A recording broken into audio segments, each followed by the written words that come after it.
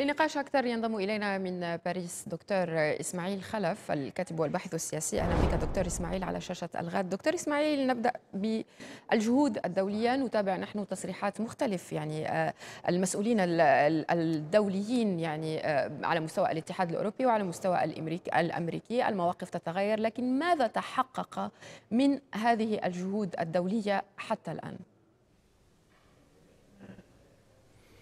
أحييك أستاذة كوثر وأحيي السادة المشاهدين الكرام. حقيقة كما أشرت يعني أن التصريحات اليوم كل التصريحات لا تتوقف ولكن الترجمة ترجمة هذه التصريحات لم آه، لم تعطى حقيقة ولم تطبق على آه، عندما نتحدث على الاتحاد الأوروبي فالاتحاد الأوروبي نعتقد أنه يملك أوراق أوراق ضغط لم ما زال لم يطبقها بل حتى الإجماع في قرارات وخاصة ما تعلق ب آه، أوراق ضغط قوية تستطيع المجموعة الأوروبية أن تضغط على حكومة الاحتلال.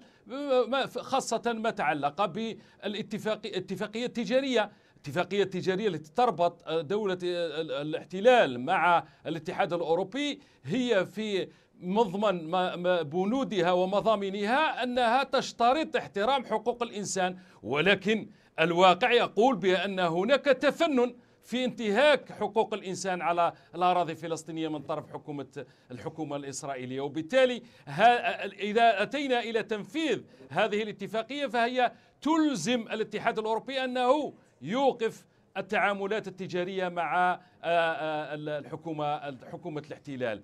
الحك... الإدارة الأمريكية أيضا الإدارة الأمريكية تصريحات لا تتوقف التصريحات. ولكن اليوم نرى بأن هناك تفنن في الدعم تفنن في الدعم. والجهة الأخرى تفنن في الإبادة. زيارة بلينكن إلى المنطقة اليوم تشهد يعني الزيارة التي ستقوده غدا. هي الزيارة آه، رقم ستة لمنطقة الشرق الأوسط. طيب لماذا إلى ما يرجع اليوم هذا التناقض بين المواقف يعني عبر التصريحات وبين ما يؤخذ كتحركات؟ يعني حضرتك تفضلت وتحدثت عن أوراق ضغط.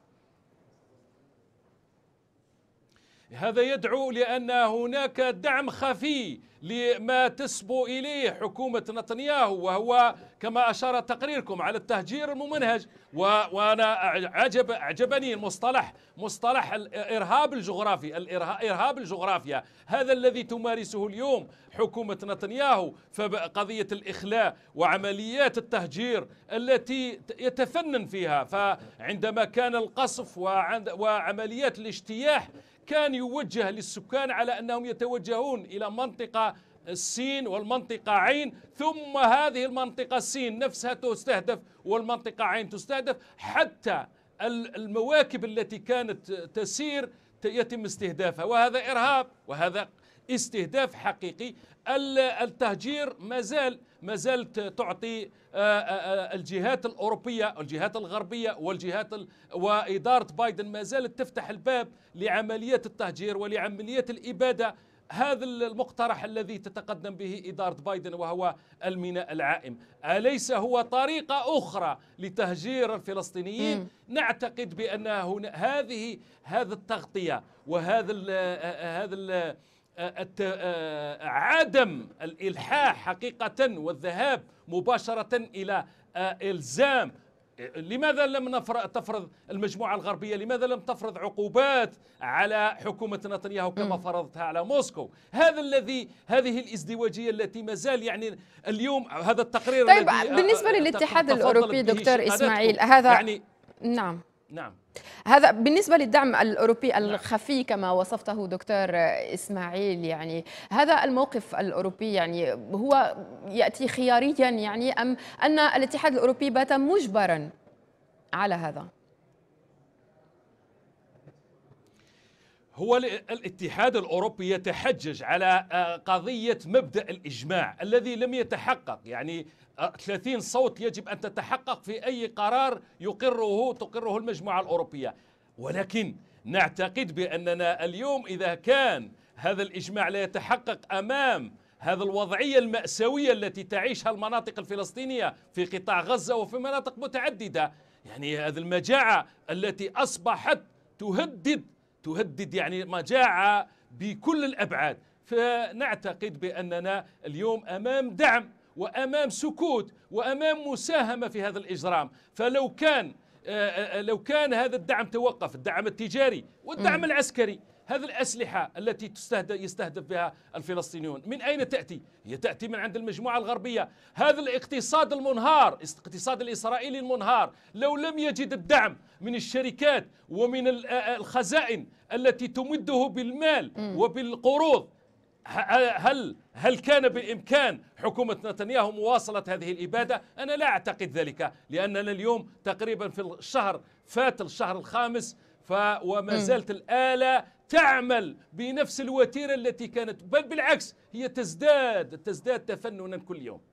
يعني هنا يعني في وقت سابق نتنياهو في الكنيست داخل الكنيست قال إن الأمريكيين طلبوا منا عدم آه، آه، في رفح لكن ليس أمامنا خيار. ومعي الآن عاجل يعني لنتنياهو هو يتهم ربما عناصر بإسرائيل بالتعاون مع الأمريكيين لمنع الهجوم على رفح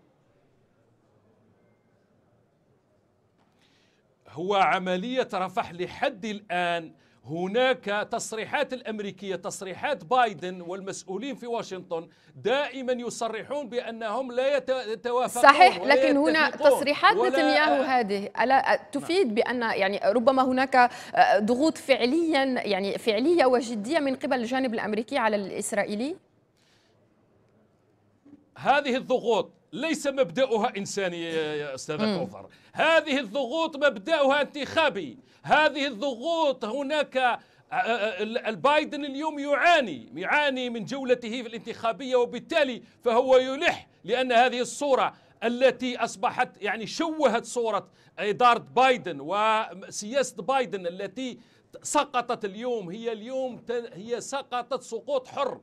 وهي اليوم أمام منافسة انتخابية. فإذا أضافت إليها عملية اجتياح رفح نعتقد بأن الجولة الانتخابية سوف تكون لصالح المنافس ترامب. وبالتالي فهذا العمل على قضية الوقت وعامل الوقت هو الذي جعل هذا هذا الاختلاف يظهر على أن إدارة بايدن تبدي اختلافات عميقة في قضية عملية الاجتياح. هم صرحوا في البداية بايدن صرح وبلينكن صرح على أن وأيضا ترامب الذي يعتبر الحليف الأقرب نعم. لنتنياهو. ترامب كانت له تصريحات يعني قبل يومين من الآن وقد طلب بضرورة وقف إطلاق النار بغزة وهو يعتبر الحليف الأقرب لنتنياهو.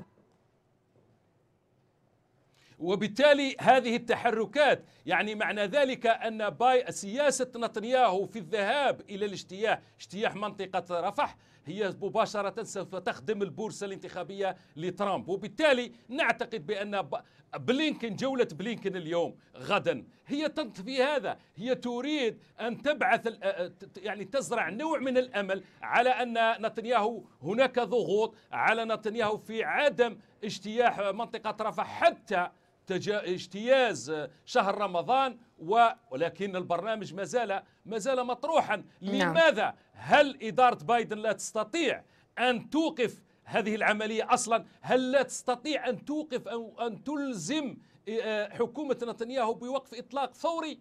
أعتقد بأنها في خلال ساعة فقط. نعتقد بأن الانسحاب سيتم وأن وقف إطلاق النار يتم لأن شكرا. لأن إدارة بايدن تملك أوراق أوراق قوية للضغط على حكومة نتنياهو. دكتور إسماعيل خلف الكاتب والباحث السياسي كنت معنا من باريس شكرا جزيلا لك.